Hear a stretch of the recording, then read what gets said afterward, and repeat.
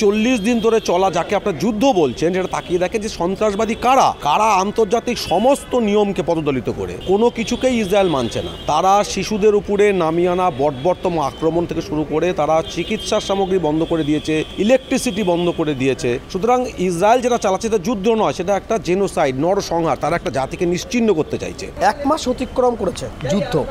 রাষ্ট্রসংঘ থেকে শুরু একাধিক বার্তা তাদের দেয়া হচ্ছে এবং তার বিরুদ্ধে সবাই যাচ্ছে। কিন্তু তারপরেও ইসরায়েল কোনোভাবেই এই নারী শিশু হত্যা বন্ধ হচ্ছে না। শুনুন এটা আমরা বলছি এক মাসের উপরে হয়ে গেল। এটা আসলে যুদ্ধ নয়।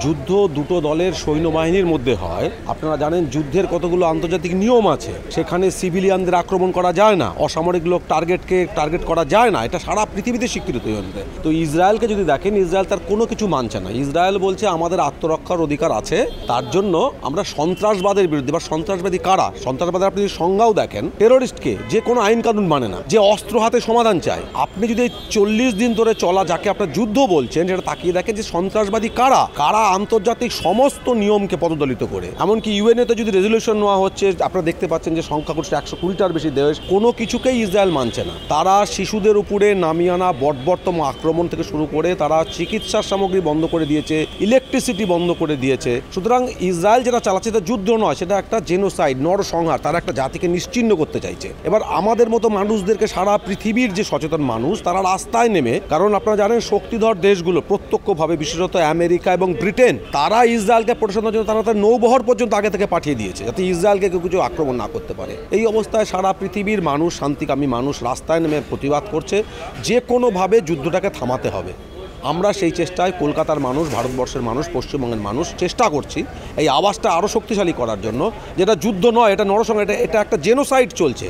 এই জেনোসাইড থামাতে হবে। সিজ ফায়ার নাও এটা আমাদের দাবি। আমাদের প্রধানমন্ত্রী নরেন্দ্র মোদী, তিনি বিশ্বগুরু বানতে চাইছেন। তানার বার্তা কি কোনো রকমভাবে কাজ হচ্ছে না? তিনি কি বার্তা দেবেন তিনি নিজেই জানেন না। এটা একটা অদ্ভুত ব্যাপার যে একটা দেশের প্রধানমন্ত্রী ভারতবর্ষ স্বাধীনতার পর থেকে পঁচাত্তর বছর ধরে আমাদের একটা পররাষ্ট্র নীতি আছে। তাতে যে সরকার আসুক, কংগ্রেস সরকার, বিজেপি সরকার, প্রথম দিন থেকে ভারতবর্ষ স্বাধীনতা আন্দোলনের সময় সেই গান্ধীজি থেকে শুরু করে স্বাধীনতা সংগ্রামীরা, আমাদের দেশ যখন স্বাধীন হচ্ছে সাতচল্লিশ সালে, সেই একই সময় প্যালেস্তিনি জনগণের স্বাধীনতা কেড়ে নেওয়া হচ্ছে। আটচল্লিশ সালে ইসরায়েল তৈরি হচ্ছে। সারা ভারতবর্ষের সমস্ত স্বাধীনতা সংগ্রামী থেকে শুরু করে প্রথম দিন থেকে আমরা ফিলিস্তিনি জনগণের এই মুক্তির স্বাধীনতার যে সংগ্রামের পাশে ছিলাম। হঠাৎ করে আজকে আমার দেশের প্রধানমন্ত্রী বলছেন উই স্ট্যান্ড উইথ ইসরায়েল বলার সাথে সাথে সবচেয়ে আশ্চর্যের ব্যাপার, আমার দেশের পররাষ্ট্রনীতি, পররাষ্ট্র দপ্তর অফিসারদের স্মরণ করে দিতে হচ্ছে যে, না, আমাদের পররাষ্ট্রনীতি কোনো পরিবর্তন হয়নি। আমরা প্যালেস্তাইনের মুক্তিযুদ্ধের পক্ষে, স্বাধীন প্যালেস্তাইনের পক্ষে। এবং তার পরবর্তীতে আপনারা দেখলেন অতি সম্প্রতি আপনারা দেখলেন যে, ভারত অবশেষে, ইউএনএতে ইসরায়েলের বিপক্ষে এই যুদ্ধ থামানোর পক্ষে অবশেষে ভারত ভোট দিয়েছে। তো আমার দেশের প্রধানমন্ত্রী নরেন্দ্র মোদী নিজে জানেন না যে, আমার দেশের পররাষ্ট্রনীতিটা কী?